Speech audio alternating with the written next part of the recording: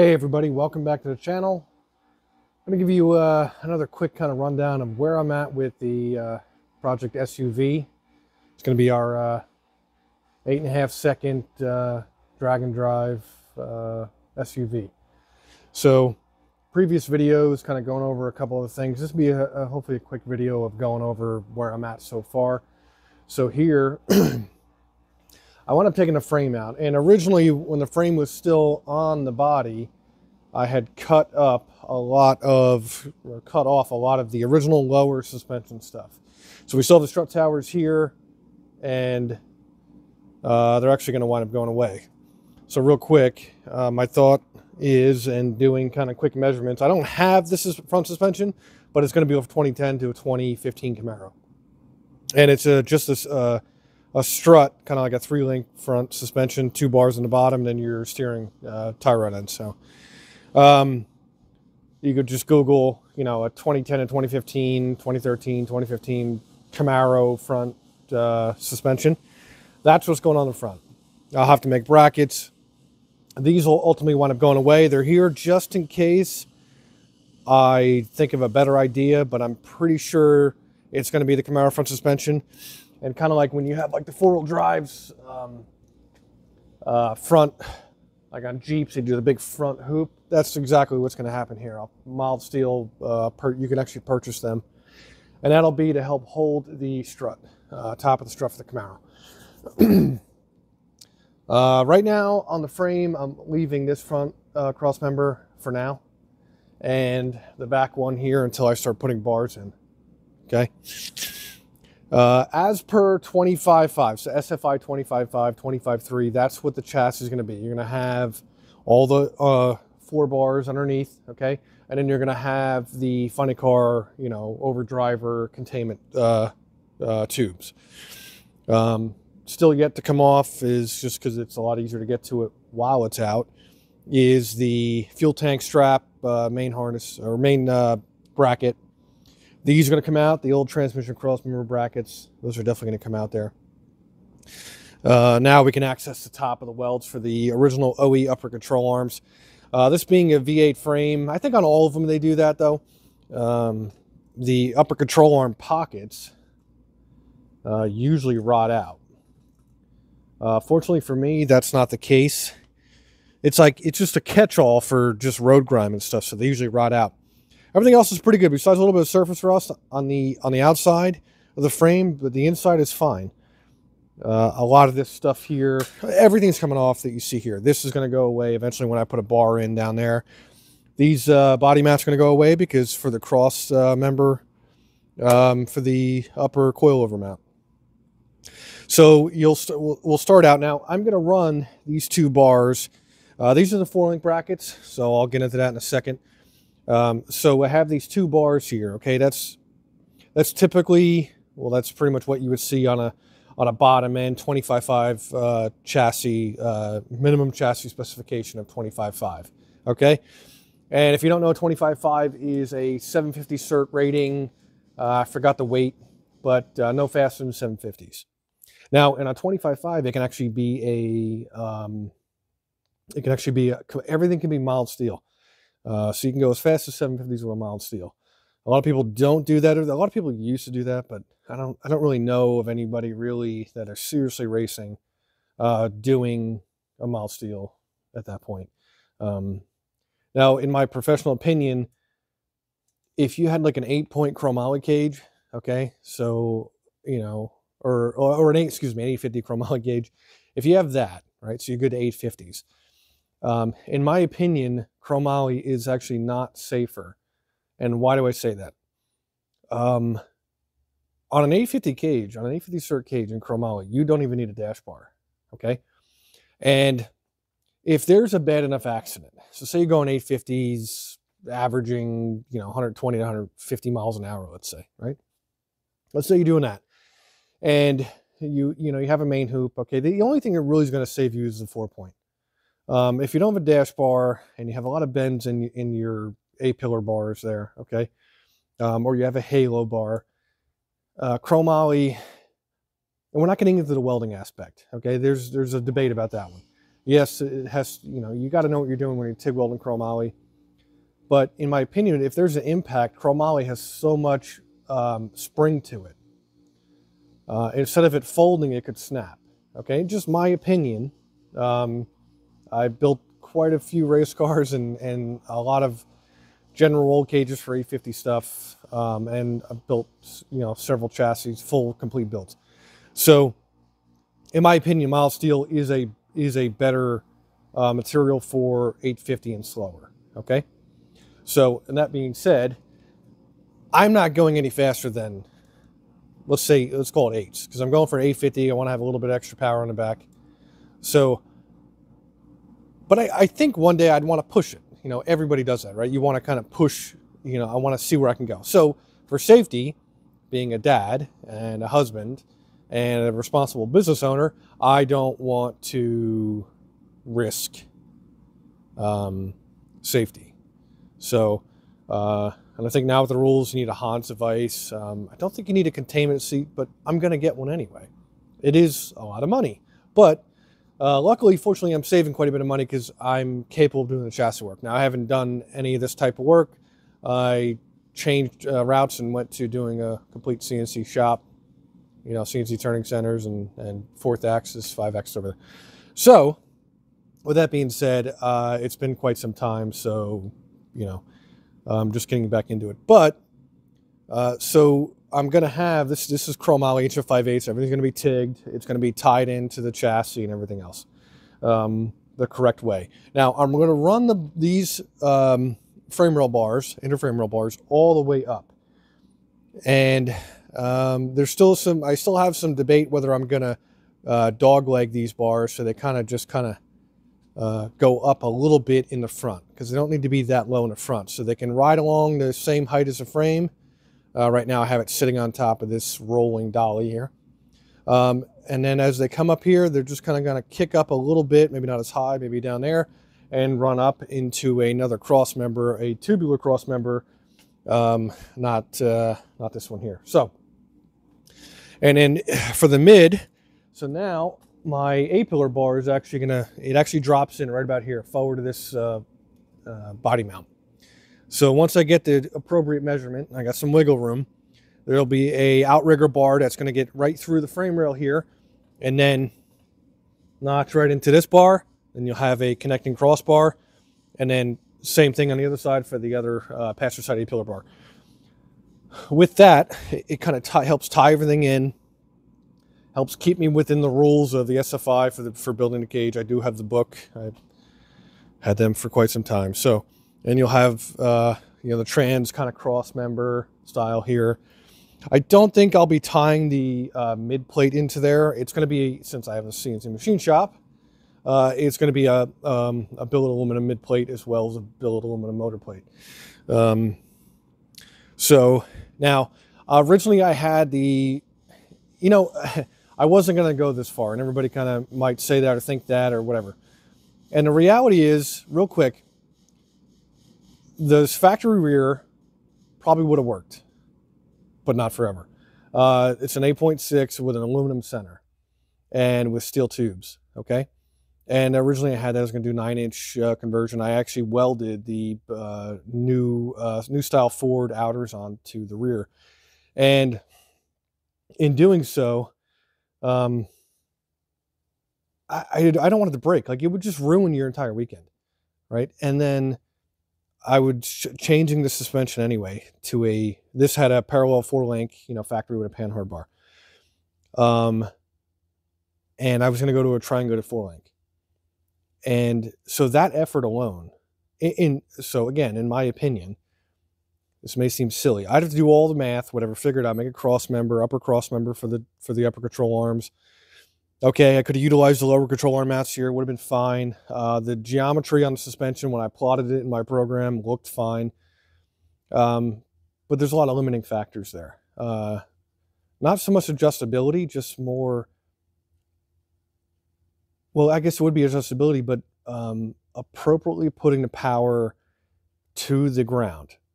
And I realized with the geometry, it would have been a struggle to get this thing to do what I wanted. I would have been playing with more of uh, leave RPM, launch boost, timing, and I don't want to do that. Uh, if you know enough, you know that if your if your chassis is so limited, you're now you're now getting into stuff where you can make a mistake, you can have a, a, a the wrong you know boost curve correction, whatever. Okay, and because you're trying to get it to leave the line the way you want it to when you could have the power you have. Now, granted, you could play with boost numbers, but you can have the power you have, but then you're just making minor changes to get it to do what you want to do. Uh, so you're not drastically making changes on everything. The rule of thumb when you're at the racetrack and you're testing and tuning, make one change once. Yeah, it's timely. Yes, it's cost. You know, it costs money, if, especially if you're renting track rental or you're waiting four hours to make one pass at some racetracks on a on a freaking Wednesday night. Um, so but that's kind of the general rule of thumb. Make one change and then go from there. Unless obviously you know what you're doing, but if it's new, you know, whatever. So, in my opinion, actually having a, a, a standard pro four link for me right now is a better way to go. That the, the frame is out of the truck, which was no effort whatsoever. The freaking body body bolts, the body mount bolts, literally just they were almost a little over hand tight. So everything came out real easy. It was, re- it was it wasn't a struggle whatsoever. I got proof. I got they're all over there. So it wasn't an issue. Dropped it down wasn't an issue. Getting it out, not a problem. I'm gonna have it sandblasted too to make it a whole lot easier. So in reality, to do the four link makes the most sense. So back to the rear. I wound up getting a Rhodes uh, Fab 9, okay, uh, with no ends on it. Uh, weld, it's come pre-welded. I think it was like I don't know, 580 something bucks, 600 bucks, whatever it was from uh, Summit or something. And it, it just makes sense for adjustability wise and ease. And it's a peace of mind, right? Yeah, it's okay, it's 500 bucks, or five, 600 bucks. And then the brackets. Luckily for me, I had a buddy who has, I used to have a plasma table, uh, has a plasma table. He whipped me out a set of four link brackets, uh, similar to the Tin Soldiers mid uh, no prep brackets. So that's what I'm going to run. And the best part about those brackets is, as well as that they're they're designed for the power rating we're going to, 1,000 to 2,000 horsepower in there. If uh, with their pro um, uh, no prep brackets, mid to no prep brackets, the lower control arm is conventional, lower link is conventional to a standard four link. The upper is shorter, so uh, you get a little more bite, a little more. You know, it's just quicker for the launch. I don't have 2,000 plus horsepower uh, to make a traditional equal length link, uh, four link, uh, move as fast in time. So you need a shorter upper to do that. So they have a video, Tin Soldiers did a video out there on their conventional and their uh, no prep brackets. So um, I have a mock-up set there, which I'm going to start doing before I get the ones uh, laser cut out and ready to go. Um, and the only reason is, is like, okay, I can buy theirs. Yeah, 500 bucks for all all brackets. All right, let's uh, let's say 225 uh, just for the frame brackets. All right. Okay, yeah, I can buy them. I'm going to cut the shit out of them. So for now, what I'm going to do is just make sure I get it right before I make a mistake on these cheap mild steel. Um, well, they're going to be mild steel from Tin Soldiers, but these just cheap hot rolled uh, plate brackets I'm going to utilize, and they're they're sitting right there. So they're kind of temporary. Um, see them there. So uh, before I go hacking up those brackets, uh, I'm going to make sure I know how they're going to be, how they're going to lay out before I do that. So they're there, they're ready to go. I just have to do all the kind of floor X bracing and the 25.5 uh, specification for the underneath and get that ready. And a beautiful part about that too is, uh, I'll walk you over here. I think that's it for that. Uh, I have the uh, Denali sitting on jack stands on the rockers. Uh, so I have a main hoop in here. Okay. Now, I could send it to a shop. I don't have a bender. I used to have a bender. I don't have a bender anymore. Now I could send it to a shop and have it done. Um, I don't like the way other people do it. I used to do it for a living. Uh, I'm just going to piss me off. So um, I'm not buying a bender. I'm not, I'm not doing that. So I did some research and found out that uh, on paper, uh, a a 1966 to 67 Chevelle, Chevy Chevelle Malibu, has a very similar uh, main hoop layout that I think would work. And originally, I was going to have uh, a buddy of mine bend the main hoop. Um, but this 66 to 67 main hoop fits perfectly. Right height, I got four and a half inches of drop into the floor, perfect for the outrigger. Um, since there's about eight eight inches in between the, the rocker and the frame on the from the stock. And there's two holes there because originally I was going to have it kicked in and only do an 850 cage. Okay. So it would have been, it would have brought this bar a little closer to the frame rail. I'm not doing that now. So I just, I'll just have to patch those two holes. So if you are ever doing a Trailblazer SS or, or uh, an Envoy or Trailblazer or an Envoy, um, you can go buy, you know, a six point for a 66 to uh, 67 Chevelle, right? Um, and if you do have a bender, you can actually kick these in. If you only want to do an 850 cage, kick these in, what, two and a half degrees each side? And you'll have a really tight, very tight fitting main hoop. And then you could just do your back bars any way you want and your door bars, whatever way you want. Um, with this, with this disclaimer, taking my uh, words, you know, take my words carefully here. Uh, this will not fit. Well, you could you could push it forward of the B post, but then it's like you know right here next to your face, so probably not ideal. Uh, I prefer having main hoops a little set back. It's more comfortable. My head's nowhere near it if I'm driving this thing on the street. Um, but I will be with a funny car cage just from doing it for so many years um, with people uh, doing cages like this that it is a street car that they're going to street race on, but they want a cage for safety when they take it to the track. So uh, I always kind of make sure I put it a little bit behind. Um, it just makes it a lot easier. So now that the the cool part about that is I'm not kicking it in. It is very tight against, you know, tight enough against the rocker.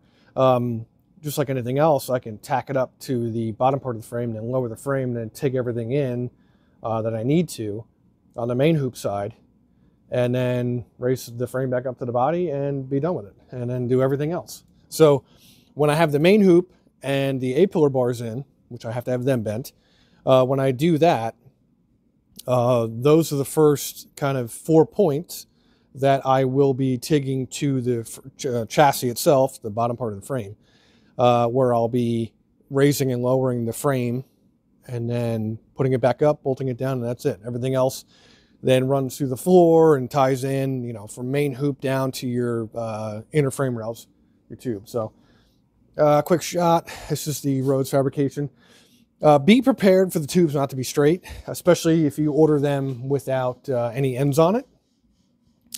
Uh, the welds aren't pretty, but it holds. You know, I, I, can't judge. It's been a long time since I've been TIG welding, so uh, I don't do it every day, and I don't even think I do it every month now. So, and if I do do it, it's for a little stupid stuff I got to fix or do something just stupid.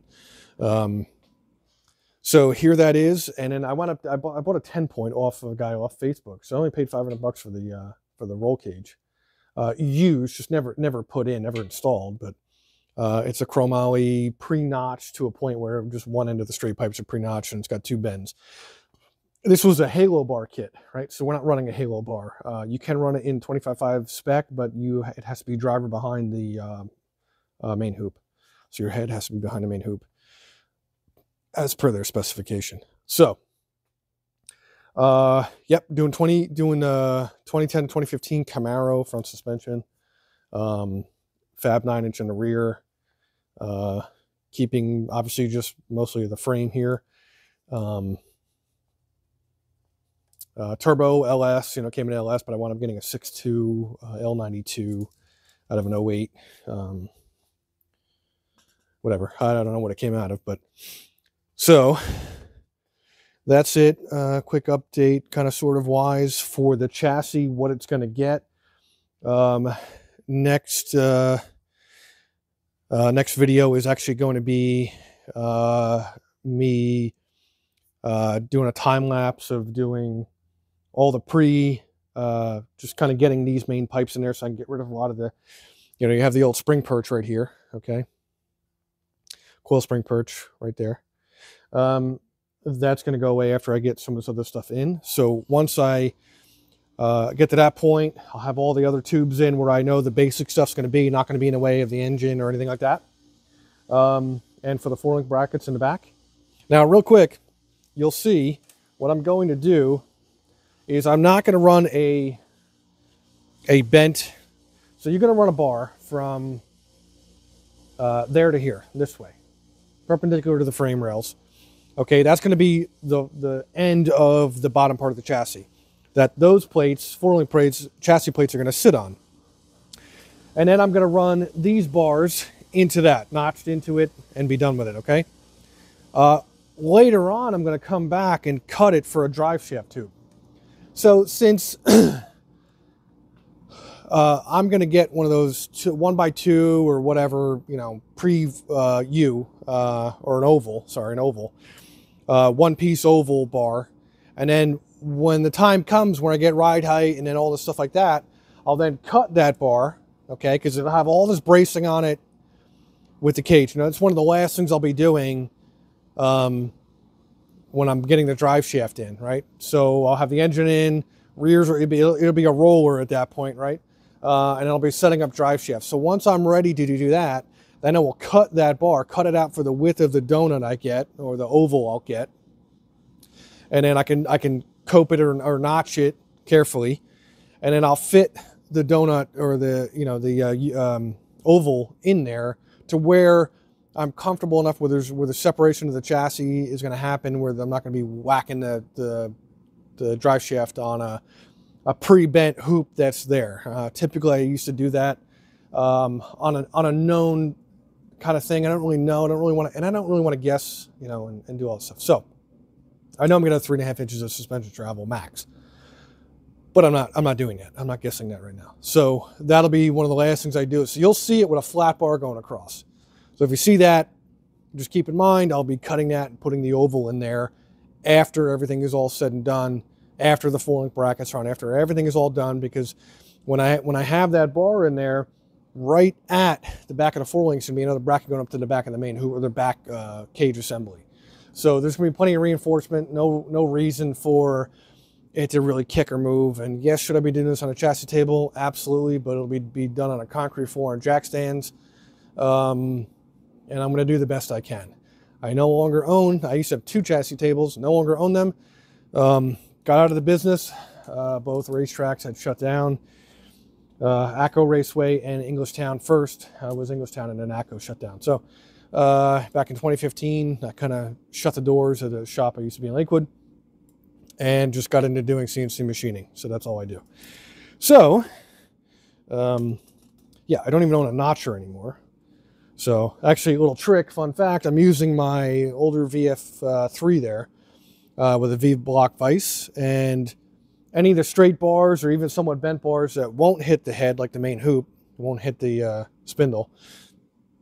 Uh, I've just ran a simple program with a uh, 5 8 roughing end mill to come down and do the notch for me. So a little just sticking in the front of the machine and it's already pre-programmed. Uh, find the, the face of it, the the front of the pipe and just hit, you know, cycle start and there you go. I'll have notches because uh, I'm trying to plan it out, not to be cheap about it. I don't have a bender, but a lot of the stuff is mostly going to be kind of straight going in. That's why these frame rails are going to come all the way up here. So, um, so as they come up, so you'll have, um, here I might try to get something bent to make it look nicer in the front. But over here, as uh, for the outrigger for the A-pillar bar as it comes down, um, it's actually going to be uh, cut right through the frame. So at an angle and then right down to this, to the frame rail. And then you have a connector bar in. So that's how that's going to be. Um, and same thing for the uh, main hoop. So then the, the everything will just kind of sit onto that. Um, and then uh, you'll have a I think I have enough room. I'm kind of body dropping it slightly, but I think I'll have enough room, um, which you don't need to do, is have a rocker bar um, right out here. But I'll, actually, what I want I'm doing is putting that that bottom door bar, rocker bar, flat uh, bar on the inside. So I believe that's what I'll be doing. I don't have to. I'll I'll look to see what I can do because I can actually just cope and notch the body mass because everything's real tight in there and run it along the top and just be real safe about that. Um, you can actually do that, run that bar along there and have your main hoop and everything else sit on top of that too. So I'm going to be playing with that concept, that idea, and uh, I'm pretty sure that's probably what's going to happen is where I'll put that bar down here and the main hoop and the A-pillar bars are going to sit right on top of that. So it's just a little easier to do uh, that way. Um, so yeah, that's that's pretty much the, the gist of it. Again, I'm going to do some stuff and get it get it roughed out uh, chassis wise, and then have it all sandblasted, so it'll look really nice. And uh, no rust or crusty stuff's going to fall off on the starting line, and I won't get kicked out. So keep that in mind, folks. When you got an older vehicle that's been driven 160,000 miles, and in the Northeast especially, or wherever, a lot of dirt uh, yeah, so that's what's going to happen. Uh, again, next video is going to be me kind of uh, time lapsing with some commentary and some thought on doing uh, all the uh, sub uh, sub body inner frame rail chassis stuff. Um, hopefully, hopefully not too much longer after this one. I have another video before this I'll, I'll upload, but uh, hopefully get some more videos coming up on this build project on the main channel. Uh, the biggest thing is going to be we're having, uh, I'll be able to put in some good quality CNC machining videos on making certain stuff for this. Um, I do do a lot of stuff that I can't post here for aerospace companies and the U.S. government. So therefore, uh, I'm kind of limited on what I can post for that. So I'm trying to keeping it uh, diverse. uh, so, um, so you'll see some nice videos on some stuff I'm CNC machining uh, for the engine, for the chassis, uh, for this project. So stay tuned to that. I'm trying to do my best, uh, do more in 24. Uh, I'll try to live up to that. But um, thanks everybody. Uh, stay tuned for the next video coming out and uh, hopefully it'll be sooner than later and we'll try to make progress. My goal is to attempt, without killing myself, um, keep in mind I still have to run a business, my goal is to uh, make it to Hot Rod Drag Week in September, I believe, this year. That's my goal. Um, time is against me. So uh, thanks again. Like, uh, share, subscribe, comment, anything. I'll respond to anything you guys uh, ask or say or whatever you want. Thanks, guys.